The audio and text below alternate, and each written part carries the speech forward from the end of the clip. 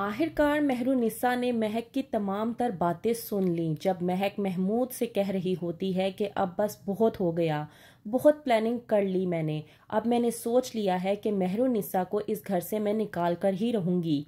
इस बात पर जब महमूद कहता है महक से कि ये सब कुछ करना इतना आसान नहीं होगा तुम्हें मुख्तात रहना होगा। तो महक जब महमूद से कहती है कि मैं सब कुछ कर लूँगी, बस महमूद तुम्हें मेरा साथ देना होगा।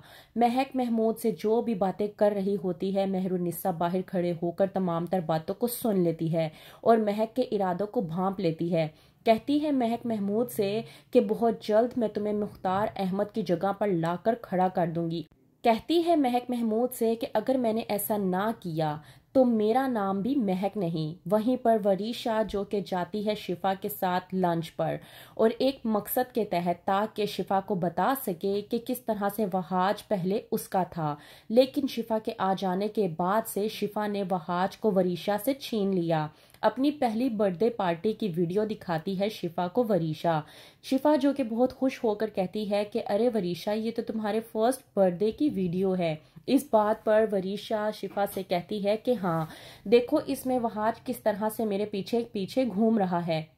और मैं उसे लिफ्ट तक नहीं करवा रही थी। और अब देखो, वो तुम्हारे पीछे घूमता है और मुझसे नफरत करता है। ज़ाहिर सी बात है, तुम जो उसकी ज़िंदगी में आ गई हो और तुमने उसे मुझसे छीन लिया है, शिफा वरीशा की ये बात सुनकर हैरान और परेशान हो जाती है।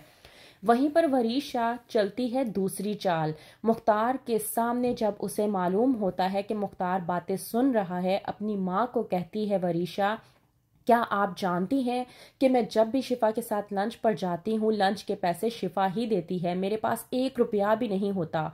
मुझे बहुत शर्मिंदगी महसूस होती है। मुख्तार, जो कि बगैर कुछ सोचे समझे आकर अपना क्रेडिट कार्ड वरीशा के हाथ में थमा देता है और कहता है कि इस घर पर जितना मेरा हक है, उतना ही तुम्हारा हक है और इस घर पर और मुझ पर तुम्हारा बहुत हक है। जो कुछ मेरा है, वो तुम्हारा है तो तुम्हें सोचने की ज़रूरत नहीं है। वरीशा, जो कि क्रेडिट कार्ड पाकर इस कदर खुश होती है कि वो बेधड़क शॉपिंग करके अपने बाप महमूद के पास चली जाती है। महमूद शॉपिंग देखकर बहुत ज़्यादा परेशान होता है। तो वरीशा बताती है कि मुझे बड़े बाबा ने कार्ड दिया है। महमूद, जो कि वरीशा से कहता है कि जब ट्रांजैक्शन होगी तो क्या मुख्तार तुमसे पूछेगा नहीं? इस बात पर वरीशा कहती है कि मैं अब इतनी भी डम नहीं हूँ। ज़ाहिर सी बात है, मैंने पहले एटीएम से बहुत सारा कैश निकलवाया था, उसके बाद ही मैंने शॉपिंग की। महमूद जो कि वरीशा से कहता है, तुम्हें एहतियात बरतनी चाहिए। क्या वो तुमसे पूछेगा नहीं कि इतने सारे पैसे तुमने कहाँ खर्च किए? वहीं पर जब वरीशा से कहती है कि अगर उन्होंने पूछना ही था तो वो मुझे कार्ड ही क्यों देते? कहती है मेहरुनिस्सा शीरी को बुलवा कर कि क्या तुम जानती हो कि महक ने वरीशा की बुनियाद झूठ, हसद, जलन से की है और उसका ये झूठ, हसद और जलन एक ना एक दिन हम लोगों को तबाह बर्बाद करके रख देगा।